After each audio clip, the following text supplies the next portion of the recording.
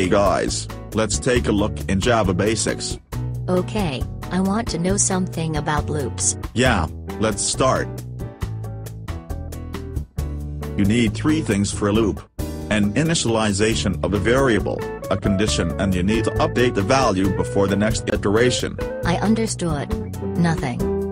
Okay, let's say you want me to count from 2 to 22.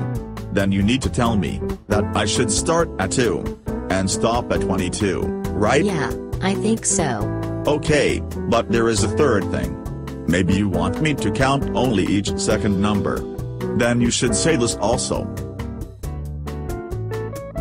This loop counts i from 0 to 9. So it's pretty easy, isn't it? Yeah, I think so. But I don't know how to print this counting variable. In each iteration of the loop i becomes another number. So you can print i.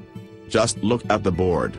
But sometimes I want to do something as long as I do something else. And I can't express this with your for loop here. Right, good point. There is another loop, which is called while loop. Let's take a look at it, okay? This loop does something while a specific condition is true. Let's take a look at an example.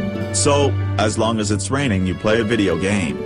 Well, I hope you don't, but it's an example. Hey, I can express a for loop as a while loop when I do something like this. Yeah, you can. But you should not, because this is confusing. Okay, I understood. Well, thank you.